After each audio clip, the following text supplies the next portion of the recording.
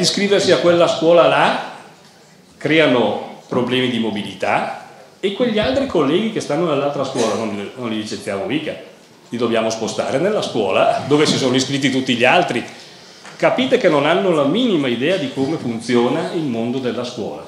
Di più, seguendo questo schema, tra vent'anni e io sarò ancora qui tra vent'anni perché oramai la pensione, poi magari Rino ce lo dirà, oramai la vedremo solo col cannocchiale, sperando di non morire prima.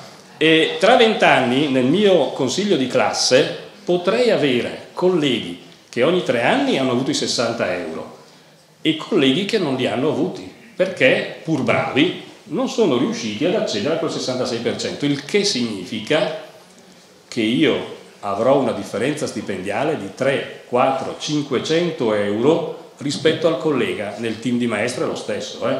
il che significa che pur facendo lo stesso lavoro identico sulla stessa classe, noi avremo differenze di stipendio importanti. Ripeto, 300-400 euro al mese.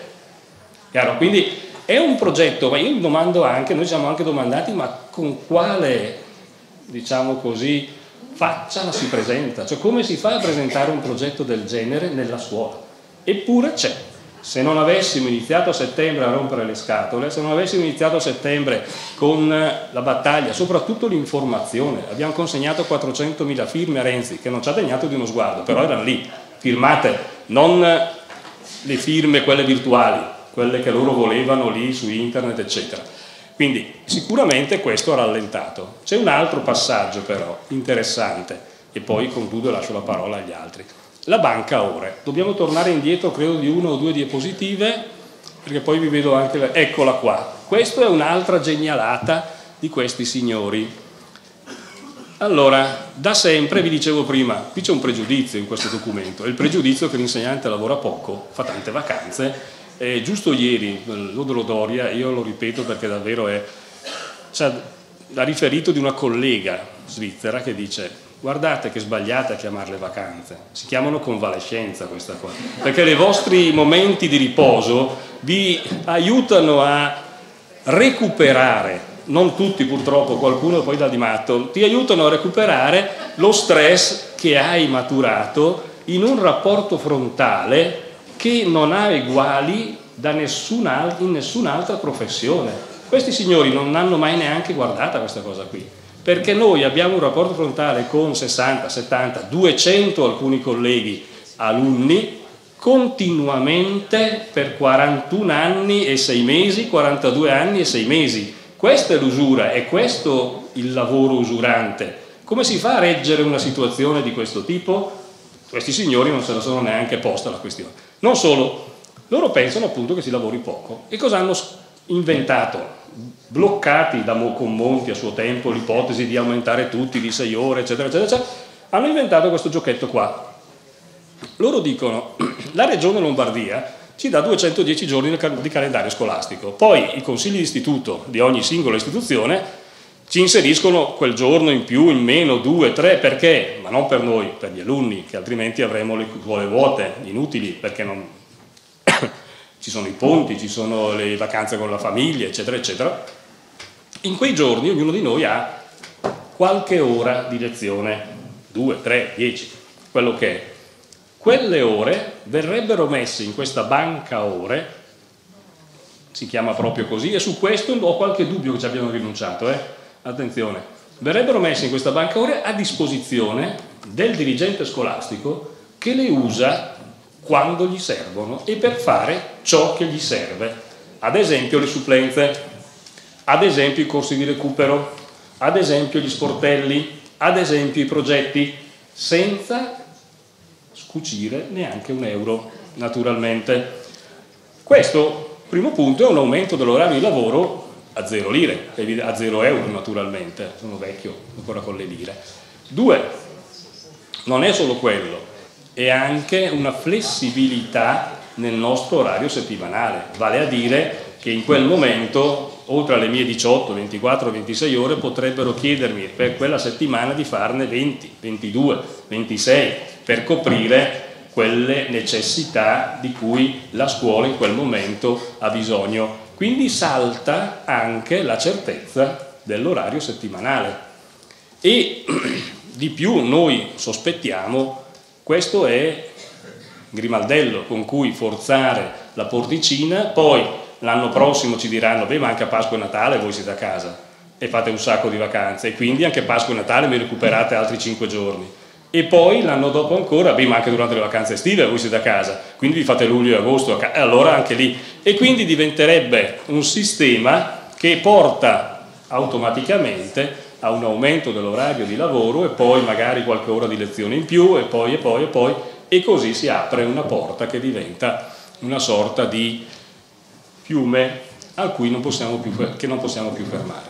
Quindi questi due elementi, ne ho citati solo due, non andrei oltre se non per un breve inciso sui dirigenti e poi lascerei la parola agli altri relatori, ma sono due elementi forti che danno il senso e la filosofia di questo progetto, che è un progetto, ripeto, non per la scuola, ma contro la scuola. Un'altra torno indietro, vai avanti leggermente, avanti, avanti, avanti, avanti, avanti, avanti, eccolo qua. Questo è l'altro, altri due brevissimi incisi. L'investimento, ancora domenica Renzi si dice noi siamo l'unico governo che investe nella scuola. Non è vero, non è vero perché basta che uno di voi si prenda la briga, come abbiamo fatto noi, di andare a controllare i bilanci del Ministero, sono pubblici, ci sono le schede tecniche anche per la Camera, votati con la legge di stabilità, ecco, la differenza tra il saldo del 2014 e il saldo del 2015 preventivato di 600 milioni di euro in meno. Quindi evidentemente non c'è investimento sulla scuola, c'è recupero di somme interne al bilancio della pubblica istruzione. Quindi ci sono tagli che vengono poi riutilizzati in altro modo.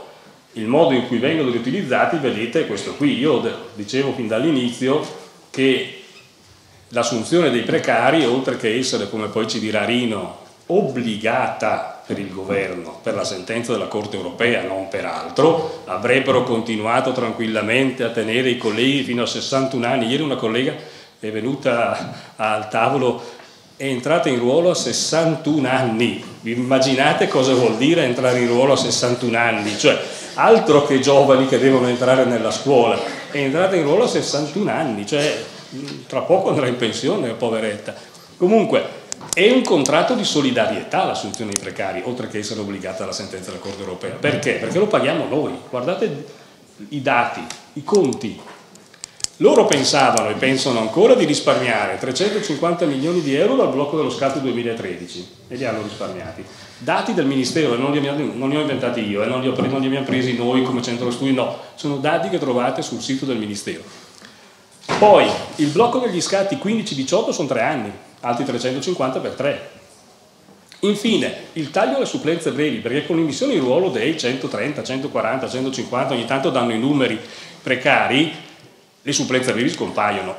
E il ministro ancora domenica ha detto che le supplenze brevi costano 850 milioni di euro all'anno, il che significa che loro considerano di risparmiarne almeno 700 escono i 3 miliardi che hanno pensato di mettere uno quest'anno, nel 2015, e gli altri due nel 2016. Quindi abbiamo il quadro completo della situazione. Non c'è investimento sulla scuola, c'è semplicemente la richiesta a noi di guadagnare qualcosa in meno per dare, qualcosa, per dare il posto ai colleghi precari.